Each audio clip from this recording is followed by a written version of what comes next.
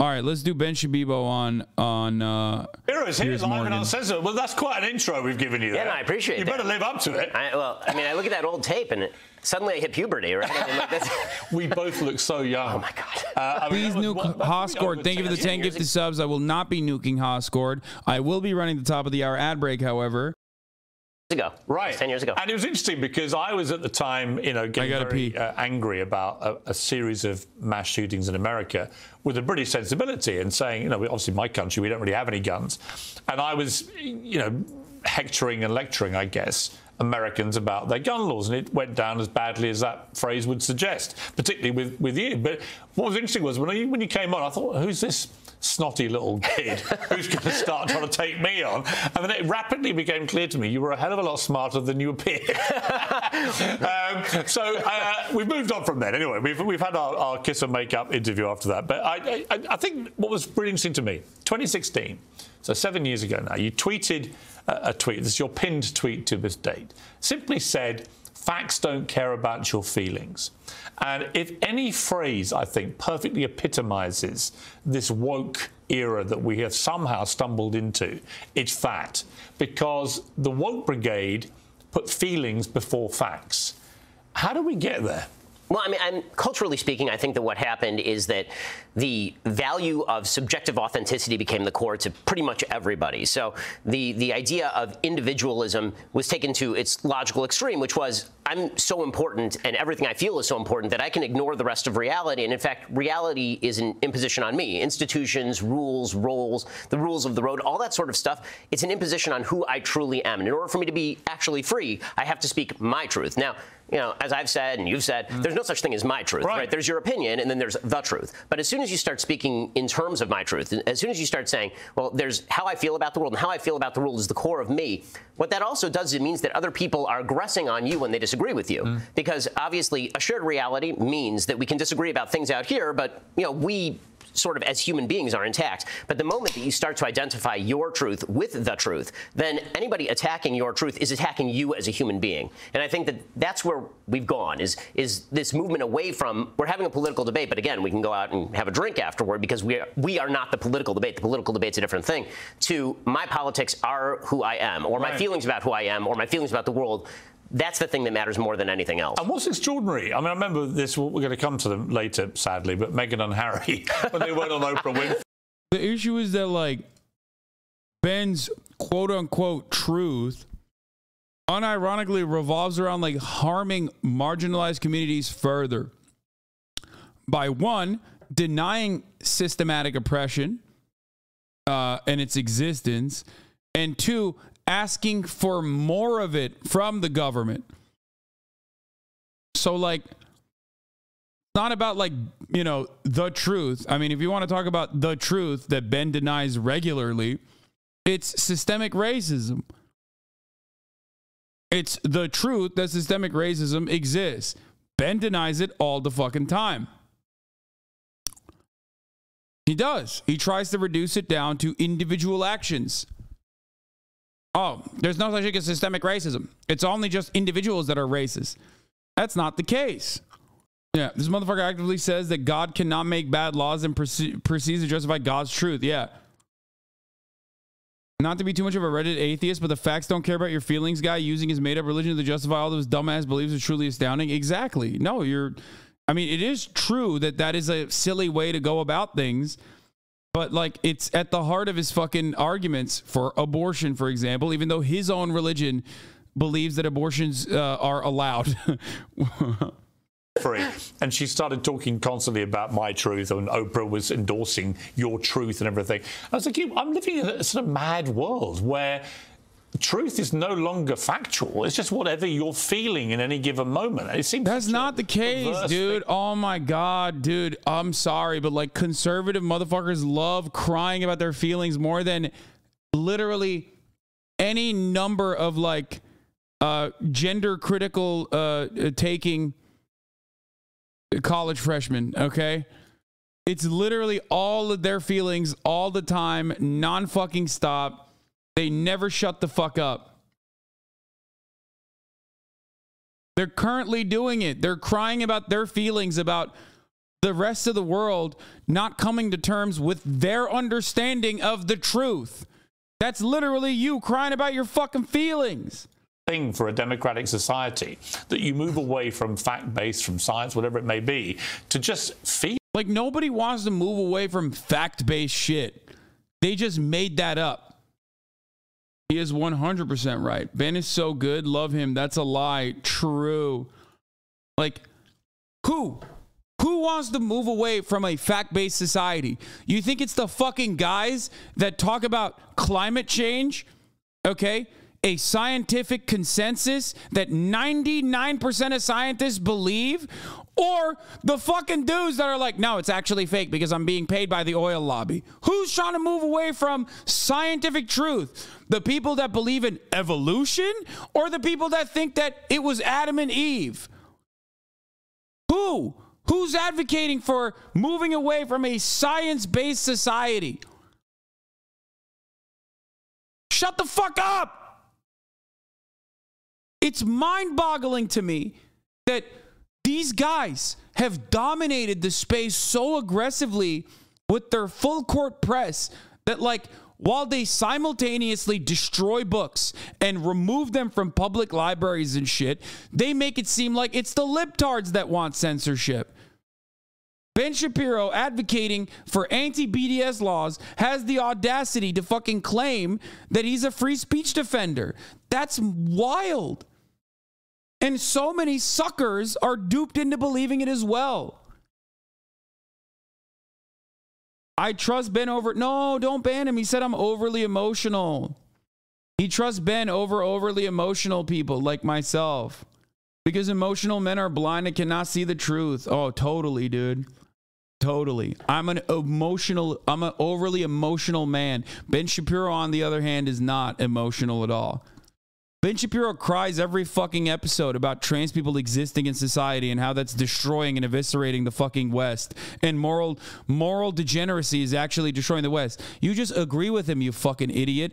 It's not that he is not emotional, it's just that you agree with him. So you don't recognize it when he brings up issues that are complete fucking fabrications based. He doesn't scream and cry like you. Yes, he does.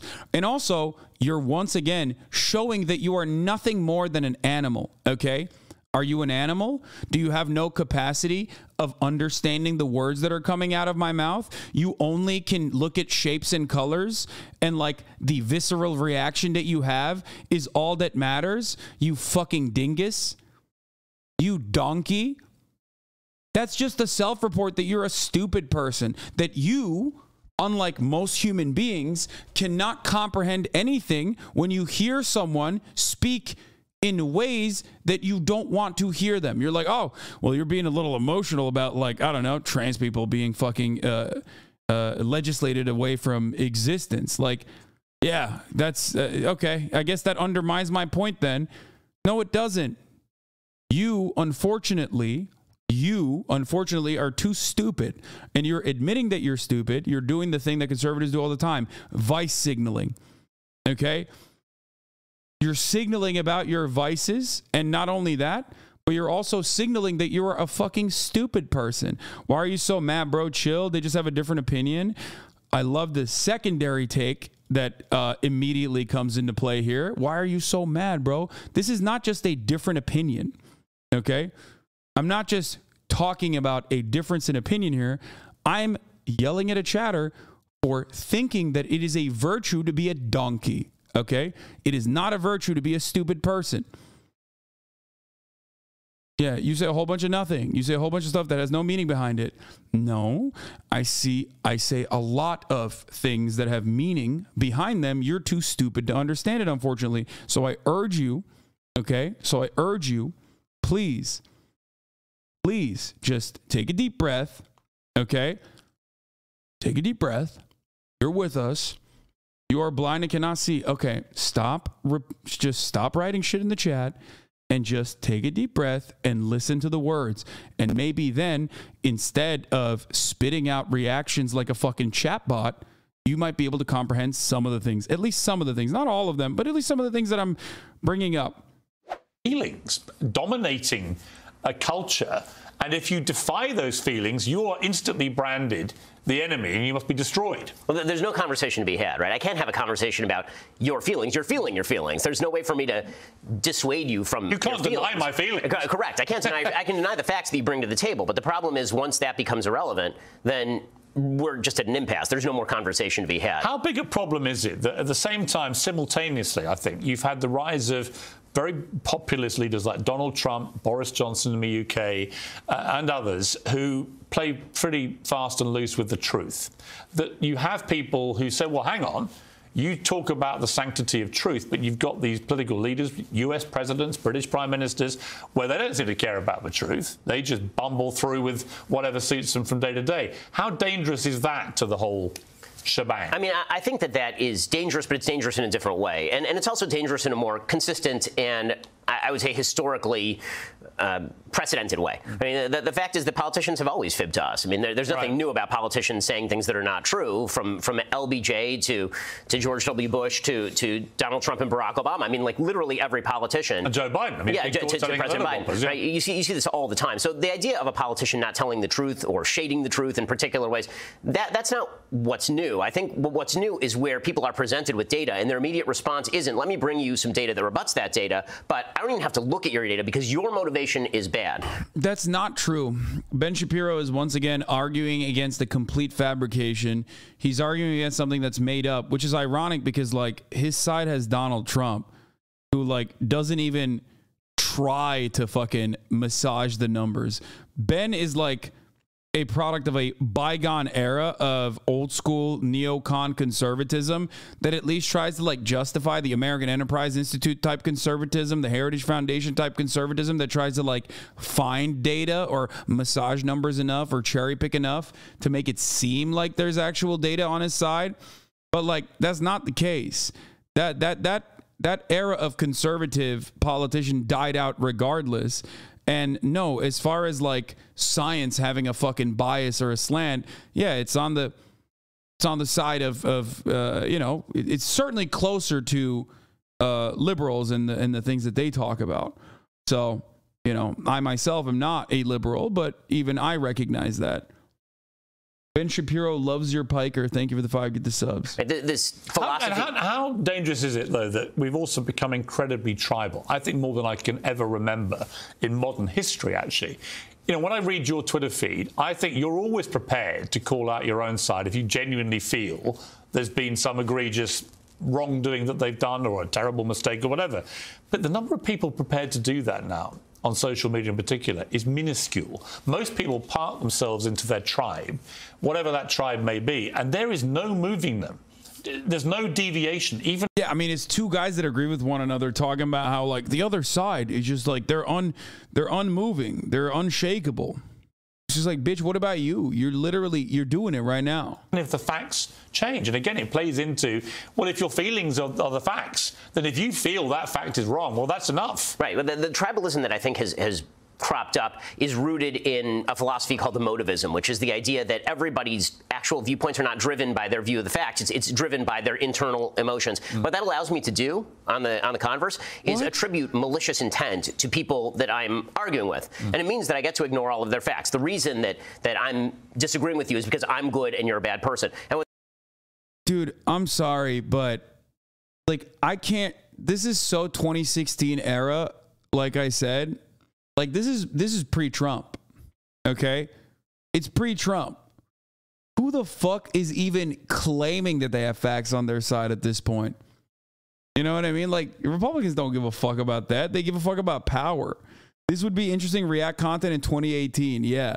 When a when a a younger Hassan would be like, that's not true. The facts are never on your side, Mr. Ben Shapiro. The facts are actually on the side of uh, liberals. There's a there's a reality that has a liberal bias. Okay, facts don't care about your feelings, sir.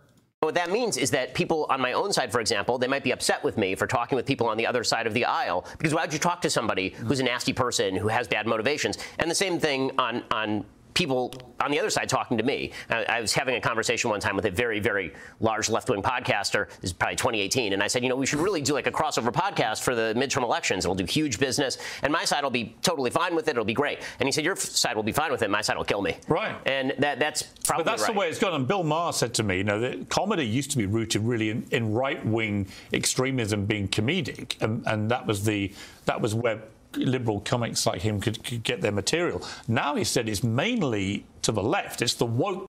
This is the, the yeah no that's another fucking old out of touch asshole. No, right wing extremism is still fucking hilarious. Definitely. Like it's still certainly hilarious.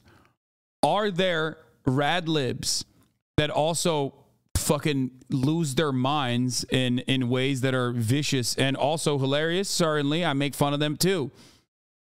But this notion that it's like most comedies coming from the blue haired liberals, blue haired Marxists or whatever, like, no, that's silly as fuck. area of politics that gives him the most comedic material. And he can't believe it. As a liberal himself, he feels just really frustrated that they don't understand how ridiculous and laughable their positions on things have become. Like it's, it's, it's driving a bunch of people who consider themselves center or center left into the arms of people who are more conservative, actually. Mm. I've made the point before that I think the future of the West may ride not. Yeah, what will the. Man, what will the fucking uh, what will the progressive movement do now that they lost Bill Maher? people who agree with me most of the time, you know, conservatives, traditionalists. I think the future of the rest, uh, West might might ride on people who consider themselves kind of traditional liberals, who may agree with some of the left's prescriptions yes. economically, but who disagree with the way they want to get there, which is very often by silencing debate, using censorship, shutting things down. So the question is going to be: Are they willing to put off utopia for a while in order to engage in the debate? Because I've always thought, like myself, I've always thought myself not really as a political ideologue, right? I, I think I'm pretty centrist and call out everybody. Really, I'm more. I see myself as a journalist fundamentally, and don't think that being partisan helps that particular profession very much, as we've seen from those who've actually drifted down into being partisan as journalists. It doesn't work. You become an activist. Uh, no, centrism is not being devoid of ideology. Centrism is just literally whatever the ideology is. And acting like neoliberalism, which is the dominant ideology, is not a thing. It is just a way of existence. Okay? There is no such thing. It's stupid. It just means you're you're advocating for the status quo, which by the way, ironically, is what everyone is advocating for for the most part. People take the current way of existence for granted. They don't even think about it as though like it's bad or wrong. People that are like openly on the right want to pull it more to the right, okay? People on the left want to pull it more to the left the idea that like centrism uh, is a is a real viable thing is just you know it's not it's the it's just you're, you're exactly centrism is just deferring to the hegemony exactly hegemony I was saying the other day, you know, are you a conservative? I said, well, I'd never identified as a conservative. But the, fa- the farther lunatic that the left woke go, the more the pendulum swings. And eventually we all get sucked into thinking, well, okay, actually, by comparison to this, I probably am getting a bit conservative because I think they're lunatics. I think what's happening right now, and it's happening in a bunch of countries, is people are just craving any sense of normality and common and, sense, and no one is providing it to them. Right? No one is providing it to them. They're taking a, a slap at the people who are. Yeah, dude, you you certainly are providing normality. Mister, there's no such thing as a fucking non-living wage. Yeah. Yeah, you know, I, I always go to Ben Shapiro to understand what is really going on when he tells me that like the average American that's suffering from fucking medical bills or or whatever kind of like unnecessary amount of uh, you know cost uh, of living increases, uh, all of that is actually bullshit because Ben Shapiro told me so, and I'm just not working hard.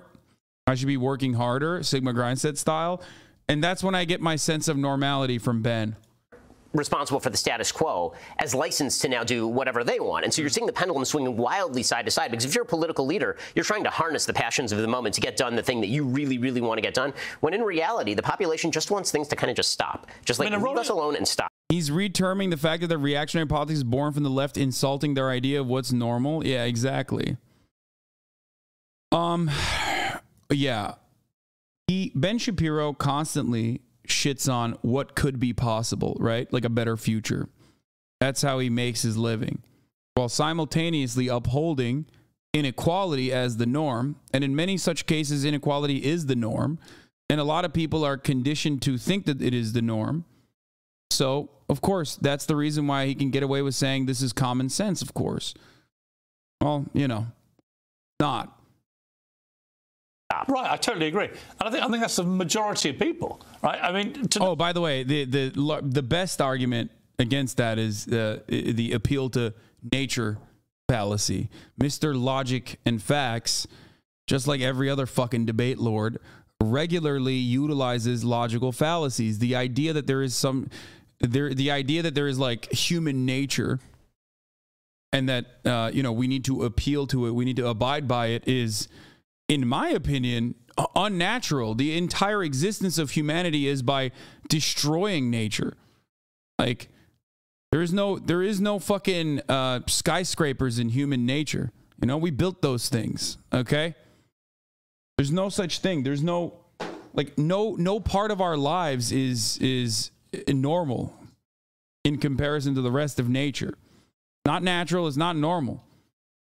Today, Rolling Stone uh, published an opinion piece on why cancel culture is good for democracy. And I read this piece and it was so completely deluded because Yeah, and then they find like some fucking random person that wrote something and then talk about it as though that's like definitely the the as though that is definitely just uh, what every liberal thinks. No one likes cancel culture.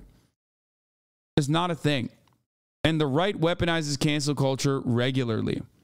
Okay? The right loves using cancel culture. Lamau facts, literally a Rolling Stone op ed. Yeah.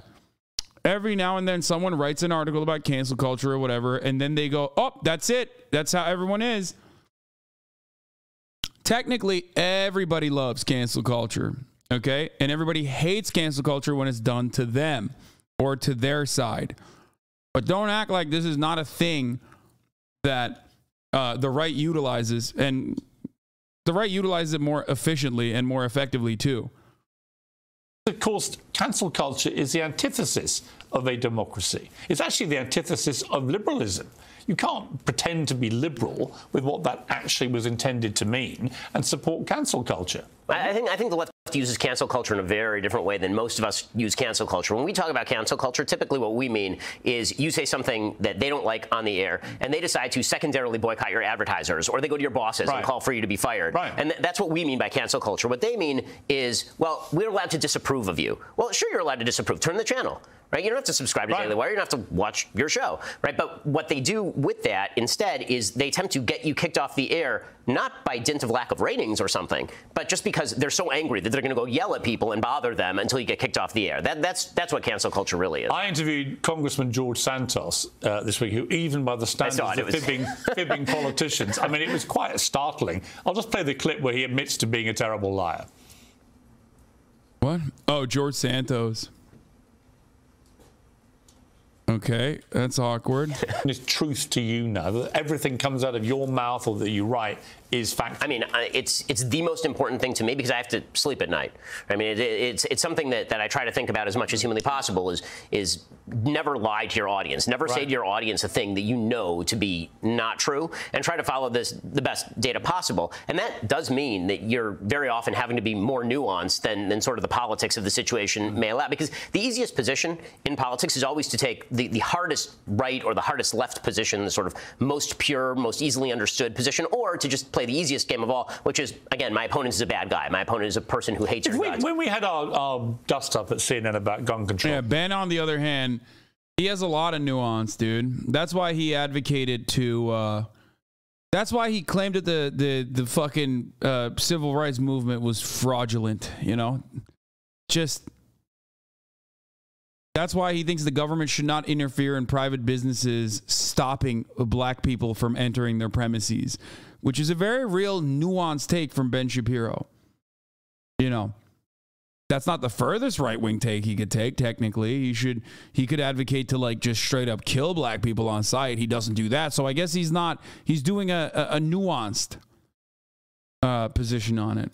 for example. I'm not going to go over all that mm-hmm. again, but had I been very different with you, if I'd been very like respectful and said, "Look, I'm a British guy. These aren't my laws. I'm just as horrified as you are by these massacres," and didn't talk about gun control, which I think has always been a terribly inflammatory phrase for many Americans. They don't want to be controlled, and they certainly don't want to hear a British accent telling them about how, how they should be more controlled.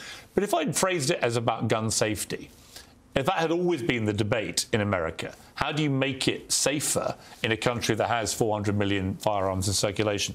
Would that have been a more constructive debate, do you think? I think it would have been a more informative debate. And the, the reason being, I think that clarity is is very much opposed sometimes by, by passion. We listen, we all get passionate about these issues. I'm, I'm not going to pretend I'm not passionate on my show or I'm completely dispassionate mm. in all circumstances. I'm obviously not. Um, but, you know, I, I think that that would have allowed for the kind of discussion where we could have looked at data from various areas of the world. Where where have regulations been effective? Where have they not been effective? What are, as I said on the show actually at the time, I believe, like what are the risks and rewards of particular policies? That, that's where the good discussion area I think gets done.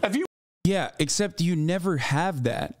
Like everything Ben is talking about about how the left is or whatever is exactly what he does. And the only time he brings up evidence is when he's cherry picking shit to disingenuously frame an argument. Like, if he truly cared about the data, he wouldn't be advocating for the side he's advocating for. You agree with literally anything Ben says, or, I mean, I don't know, probably not. It'd be very hard. I'm sure there's something I agree. You, I mean, just final point on the gun thing, but it, and I'm aware many viewers who watch this in America own guns and support yeah, I own guns, the yeah. Second Amendment rights and so on. Where do you see the, the line going? Hasn't been shown data before in uh, debates? Yes. That's why I said he loves to cherry pick data. Like, uh, what did he do the other day? We were watching a video and he and he almost slipped up and then he turned around. Like one common trope is like uh, using the totality or the majority uh, instead of per capita arguments because per capita arguments usually betray whenever you talk about like american statistics people love to use totality rather than per capita um, because america is a very large country and is a very wealthy country. So of course by a lot of metrics we spend more money than other nations right? On on a lot of shit right? What was it? What the fuck was it that he was like talking about yeah, yeah, yeah. The rate of black arrests. Yeah, I remember. No, I think he said the rate of, or did he say a higher rate of white people are killed by cops? And then corrected himself and went, I, I mean, a higher number. Because, you know, he almost accidentally fucking revealed the truth when we talk about the the uh, argument about like black people being over policed. Yes, black people, or sorry, yes, police kill more white people in this country. Okay, that's true. There are more white people in this country, but police kill black people at a disproportionate rate, a much higher rate. That's the problem. And when we bring that up to talk about the disparity in policing, Ben doesn't want to even bring that up because that's a harder argument to uh, argue against. As you have all these massacres and as gun ownership incre- increases, there's more guns in circulation. What do you do about that? I mean, as a, as a country as big and powerful as America, what more can be done to just make it safer? I mean, again, I, the, the measures that I've always suggested are measures that tend more toward the gun owner than, than toward the, the weapon itself, meaning that we obviously need better screening procedures for people who have a history of severe mental illness. We have to, we have red flag laws on the books, but they're not enacted. I mean, people, people don't actually right. practically right. follow the red flag laws, which is why I'm kind of skeptical of the idea that if we pass some more text from the legislature, that's magically going to translate into, into better action. What we need is more alacrity from the cops. I mean, how many of these mass shootings have we seen where there are the a thousand red flags algorithm. and the cops okay. go to the house and then they're Bro, here, the argument that you're supposed to be making in this regard, if you want to talk about like black people that are doing more crime or whatever, is the common trope, the 1350 trope. According to FBI arrest records, 13% of the population, black people, are uh, getting are, are are responsible for 50% of the arrests. Now, of course, the reason for uh, why that is is over policing to begin with. So, if you want to make a better argument to be a better racist in the future, you can at least come to me and say, "Uh, try arguing against FBI crime statistics, libtard." Okay, and then to that I respond, "Well, the first of all, those are arrest numbers; they're not conviction rates." Okay. You're so bad at debating that I'm debating for you. Those are arrest numbers, not conviction numbers. An arrest does not mean conviction. Black people are over policed on top of uh, getting arrested for false charges way, way more frequently than fucking white people. As a matter of fact, if you look at real studies that pertain to, let's say, drug usage, for example, black people and white people use drugs, weed, let's use weed, uh, at the exact same rate. As a matter of fact, sometimes white people use weed at a higher rate than black people, and yet black people get arrested for minor possession charges at I think four times the higher, four times higher rate than white people do. This is a consequence of over policing black people. It's a consequence of things like stop and frisk policies. It's a consequence of racial biases in the way that uh, policing works and operates in the system. Black people are also given longer sentences for the same kinds of crimes that white people commit. Okay? Before we even talk about the other side of systemic racism, like redlining in the Jim Crow North, racism in the Jim Crow North, or just straight up segregation in the Jim Crow South.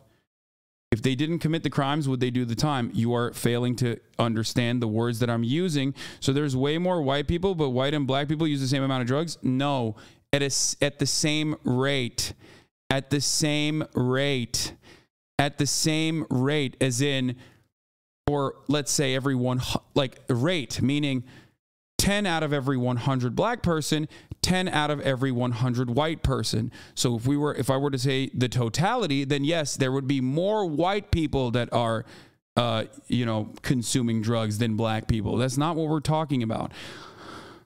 Oh my god. Okay. Anyway, um if they didn't commit the crimes, would they do the time is not an argument when we are talking about two groups of people that are doing the same crime at the same rate and one group of people getting longer sentences and getting arrested uh, uh, getting arrested at a higher rate. Okay? That is where disproportionate policing comes from. That's why we say black uh, neighborhoods are occupied by police forces. Okay? They do the same time for the same crime? No, they do not. As a matter of fact, sentencing disparity is also uh, absolutely a part of the law. The sentencing disparity between crack cocaine and just straight up cocaine exist existed. So even that's not true. That that's not even true. You're not understanding what I'm saying to you. Okay? I hope this is an educational I hope this is an educational moment for you. Okay. That you just understood what I, I hope you understand what I'm saying. Okay. You can't argue against law, man. I mean, that's true. Can you give me an example of a black person being sentenced longer than a white person for the same crime? You are once again looking at individual examples. Individual anecdotes do not do not is not an adequate substitute for data, okay?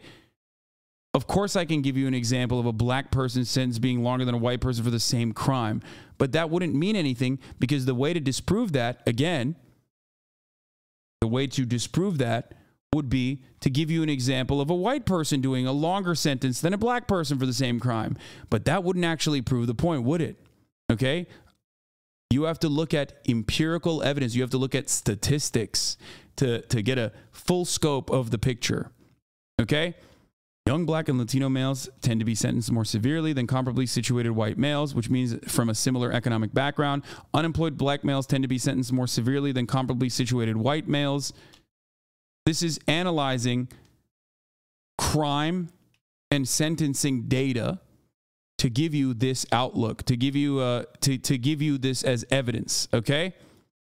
And this is from 2005. It's fucking, you know, that, but doesn't that mean that black and Latino males are committing more crimes? That's why they're being sentenced more? No, chatter. Okay.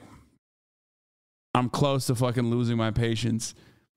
It's the same crime. It's the same crime. They're doing the same crimes. They're not doing more. It's the same crimes that they're committing. You have to be trolling, right? Do you not understand this? Yeah, as for the look around you, the news and media show more black crime than any other crime altering perception. Absolutely. What does it mean then? It means what I've told you it means. It means that white people and black people, when factoring in their socioeconomic conditions, as in like where they are in life, okay, when factoring in the crime that they have committed, are doing the same crime but not doing the same time. Because the criminal justice system somehow, for some reason, okay, keeps giving longer sentences to black people. That somehow, some reason is systemic racism. So, who got a longer sentence than a white man? You didn't give an example of that happening. Oh my God. This is an example of that happening thousands of times. This, okay, a study is kind of like not one example, but like thousands of that example put together.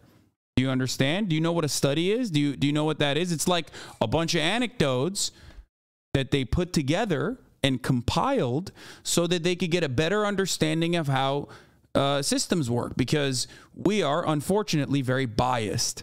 Okay, and anecdotes can be clouded by bias. There's many different biases like recency bias, or maybe you see something a lot in your fucking immediate, uh, uh, you know, Twitter uh, feed, and you think that that is the case. So we look for an adequate sample size, and that's how we conduct a study. Exactly, just one example. You know, people make up studies, right? Exactly, just one example, please. Bro, you don't even have a study. If there's thousands, you should be able to name one easy. Oh my God. Oh my God. Oh my God. Okay. No, no, no. He's he's baiting me. He's he's uh he's he's baiting me. Okay, never mind. It's almost in every circumstance. So we actually do need law enforcement to have more ability and will mm. to carry out, for example, when they know somebody is severely mentally disturbed or somebody is shooting a gun at their mother, which we have we've had a case like that. That would be a time where you actually remove the person's guns and, and keep track of them, make sure they can't actually get guns. Right? I mean, see, if I my way again, when I was doing that debating, I would have had this kind of conversation. I can look back at those and realize I was letting my own emotions override. We all have these. I mean, yeah, but it's interesting, isn't it? I, I, do think an important part of how we get to a better place as as society now, away from this tribalism, away from all this stuff, is you've got to be prepared to have this kind of conversation, which doesn't end up with me just looking at you and shouting, "Well, you're a complete idiot" because you don't agree with me, right? Um, it's more complicated. It's more nuanced. Life is more nuanced than that. I, I, like to think so. And I think that, again, those conversations can be really, really productive. I try to make a habit. I have my regular daily show, mm. but I also have a show called The Sunday Special that you've been on, yeah. in which I bring on a bunch of people who disagree, from Bill Maher to Ana Kasparian. Yeah. And we actually try to talk through these issues. And people, last time I came and I found it a very surprisingly pleasant experience. Yeah, exactly. Let's take a short break. I want to come back and ask you the, I mean, the most deadly question in the world right now. What is a woman? Welcome back to Piers Morgan. Oh, here we go. Yeah, he's like, let's talk about transphobia. Censored live from New York. Ben Shapiro is live and uncensored. So come on, then, what is a woman? Well, I mean, a woman is whatever J.K. Rowling says a woman is. Right. and uh, she's right. A woman is a biological human female. How on earth have we got to a place where stating that simple fact has now become a stick to beat people with? When, from what I can ascertain, 99% of the entire planet agrees with that fact. Yep. Again, it goes back to that idea that your subjective feeling about yourself must be reflected by the rest of the world, cheered and celebrated by the rest of the world, because that's that's actually what the ask is, right? The ask isn't even, you know, I wish to be treated well in society, and you can think whatever you want of me, but you should treat me decently. That, that's not the actual ask. The actual ask is, I wish for you to participate in a delusion whereby I am a biological human female, or exactly the same in many important respects as a biological human female. Trans women are women, which, again, if you refuse to define and you've what. warned about this, and I've warned about it, and we've taken it to, we said in the warnings. It doesn't seem like he's describing what a woman is, though. It's so funny. They never do. They're like, a woman is a woman, a biological female. Okay, what is a biological female? And whenever you ask them that question, they're like, okay, well, chromosomes. And then you're like, okay, is Ann Coulter a woman then? Yeah, she is a woman. Okay, inter- high likelihood that uh, I think isn't she intersex? I think she is. I don't want to fucking. Ben definitely doesn't know uh, what a woman is anyway. But um, a chatter actually correctly pointed this out, um, saying that you're a biological female already already gives the game away. You're talking outliers that represent 99.9% of the population. No, that's not true. It's not 99.9% of the population. Okay. And it doesn't matter. You can't just say something is an outlier and then act like that's not, um, act like that is a biological reality. Act like that's outside of the scope of biological reality. They can't parse gender and sex, so Ben's argument is dumb just from the assumption. Yeah, I mean, if if gender was uh, was was not socially learned, okay, if gender was not socially learned, and it wasn't like super, if gender wasn't social, then you wouldn't have to separate it and say biological gender, biological sex. Jewish people represent a small portion of society, but you wouldn't say they're not significant. Exactly. Also, uh, I think, wait, isn't that actually the same number? The number of intersex people on this planet is more than the number of Jewish people. The number of intersex people on this planet are the no- more than the number of um, the the uh, number of redheads. If we're going to talk about like biological, okay, more women than expected are genetically men. Sex chromosomes usually determine whether you're female or male. Women are XX, men are XY. However, genetically few women are actually a few women are actually men. They grow up as women with a woman's body and mostly only discover well into puberty that they are different. Danish researchers map the first time how many women are genetically men. The proportion was higher than expected. The intersex estimate is 1.7%. Um, Jewish people make up 0.2% of the population on the planet. Also, as far as gender goes, that's an expression. You want to know why? Don't make me play the game again where I'm going to pull pull up fucking Buck and numerous uh, other trans people to be like, is this a man? Is this a woman? And then you go, oh, that's a man. Oh, guess what? That's a trans man. That kind of thing. Okay. The reason why you Uh, you would lose that game if we were to do that. Let's not with the transmedicalist though. I know, I know. It's just to open the door up. It's just to open the door, okay? It's to open the conversation. That's not the end all be all of gender. Okay? But that's a good way to just peek in and open the door for transphobic people to understand that gender is gender is a expression. Imagine going on a date and then you sit down, a woman is sitting in front of you, you go, I need to see your chromosomes to make sure that you're valid, that you're a woman. You don't do that. If you take this to a logical conclusion, it's going to get abused. And we had a stark example of this in Scotland several weeks ago with this rapist, Adam Graham, who, at his trial, having raped two women, with his penis, and let's be graphic Her, about her, it. her penis. Well, this is the point. Yeah. He, he then turned up as Isla I hate that like the only time where they're like where where they will like listen to the fucking expression or listen to the gender pronouns that someone wants to be called by is when they're talking about one specific example of a fucking rapist is so vile, dude. It is so fucking vile. And it totally gives the game away. Okay? Even if this person was truly a trans person, which I don't think they are. Okay. I don't know what the fuck's going on here. I'm not familiar with this case because I don't follow every fucking. Uh, I don't follow every goddamn last, uh, you know, issue of Trans Criminals magazine. Okay. They're committing a crime. Men, men, you know, assigned male at birth men cis men are responsible for the bulk, the overwhelming majority of pedophilia. Okay? That does not mean all men are automatically, all cis men are automatically pedophiles. The controversy for this case was that the rapist said they were a woman, so demanded to be in a woman's prison. Bryson and said, I'm now a woman. So that's him before. And then he comes along as Isla Bryson there. And the, the game plan, according to his ex wife, is well, he just wants to get into a women's prison, which is obviously what his game plan was. and he got into one, uh, put into a women's prison where there are women there who are vulnerable to attacks from people like him.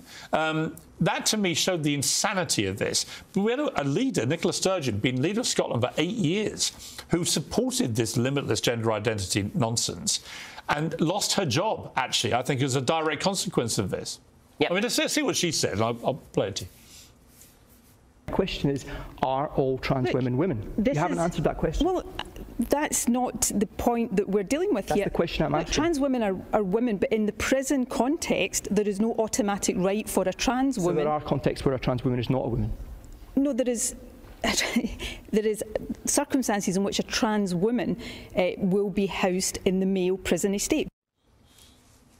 I think that interview cost her her job because when I watched that, it went on for about 50 seconds. It was jaw dropping because actually her ideology about this was was just cruelly exposed as being completely. Yeah, I know. Men get raped in men's prisons as well, uh, but that's not the point here. I don't know enough about this case. I don't even know enough about this particular case to give an adequate assessment. And the only thing I can tell you is that these bad faith insane dudes wouldn't think to do this if this hadn't become a culture war. Yeah, literally. Like that dude, that dude, okay, saying, "Oh, I'm a woman now." Like, fucking put me in a woman's prison. Uh, no shot to put a rapist in Gen Pop. Exactly. It doesn't even fucking matter, um, because there's no way that they're getting into Gen Pop. But that person coming out of the gates swinging and saying like i'm a woman now. I was i was always a woman is a new phenomena that conservatives brought to the fucking fold. Women literally get raped by other cis women in women's prisons. What the fuck is their point? Yeah exactly. Nicola sturgeon is stepping down due to stress and shit. She did not lose her position as first minister of scotland. They don't care about the trans woman being worshipped in men's prison you think they decided to put him there to, on purpose to create this controversy? No, Scotland is actually uh, way more, uh, way more understanding and way more fucking woke when it comes to trans issues than the rest of uh, the rest of the islands or the rest of the UK. But I don't know. Now I have to look at. Oh god. Now I have to look at this case. I don't even know what the fuck it is. God damn it! I hate this shit. This is the worst part about shit like this is that like you have to be up to date with like every new fucking psycho that comes out. Oh, they they lied. Scotland did not put this person in a woman's prison. The law says that the determination is made on a case by case basis, as in this case where they were. Oh.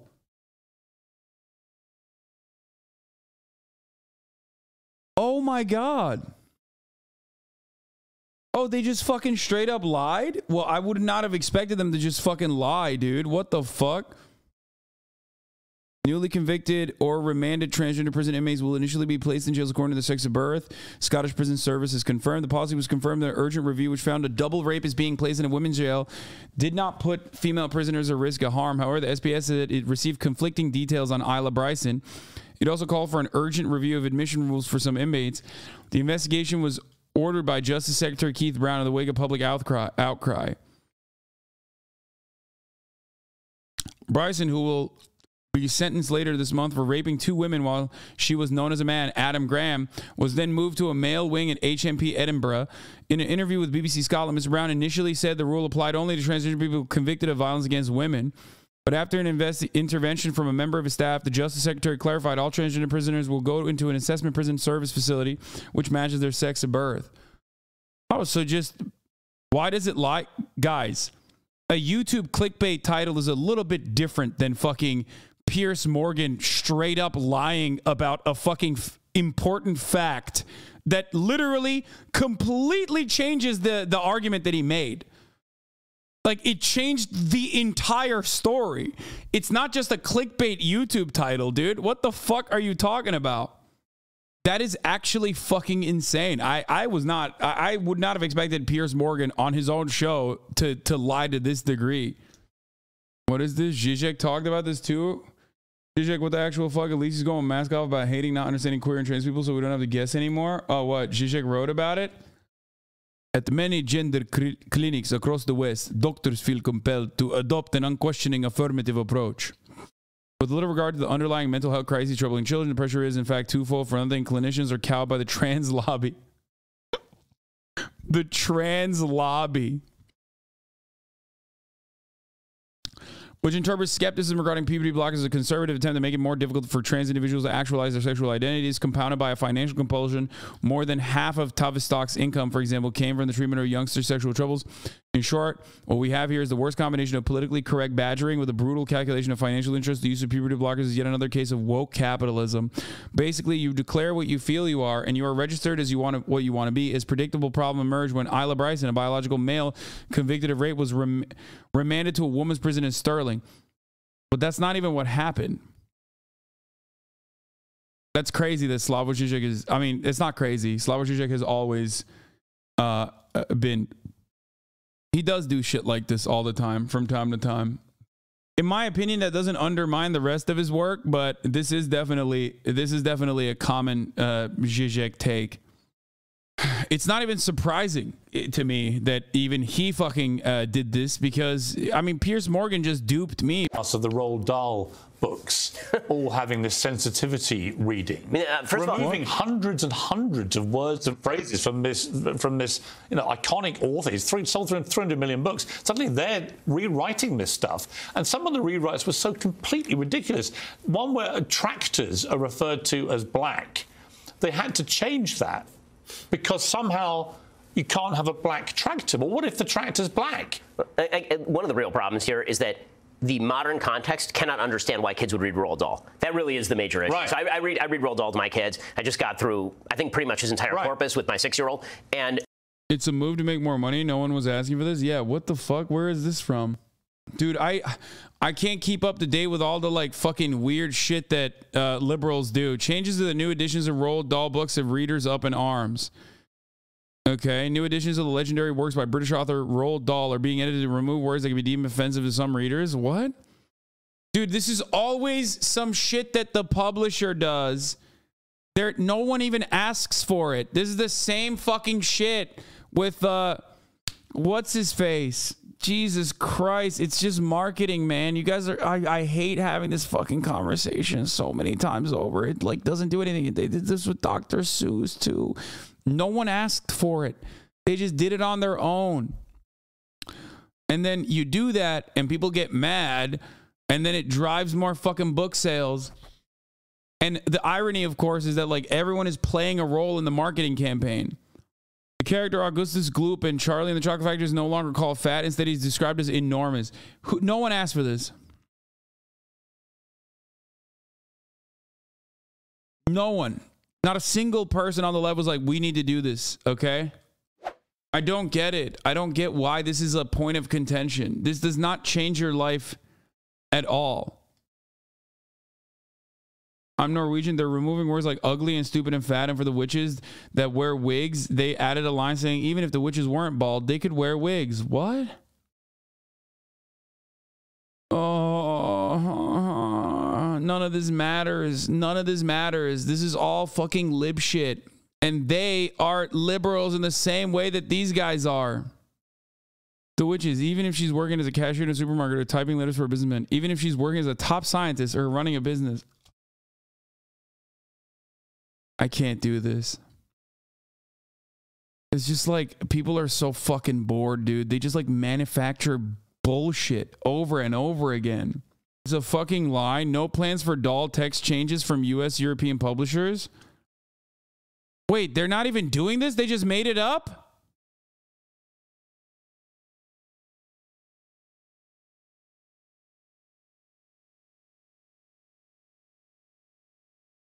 No, they did it in the UK, not in other territories.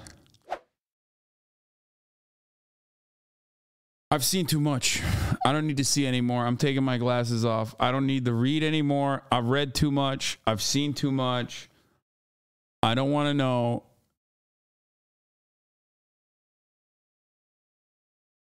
It's just like, so they did it only for the UK, and they're not doing it for the US. which they shouldn't have even done it for the UK. Who does this help? Nobody. Like when you get gifted a sub at the top of the hour, at least you're helping chatters. I don't want to do this anymore. I'm I'm done. I can't. I can't. I don't want to do this. It's like it's like hurting my soul. I'm not gonna. Want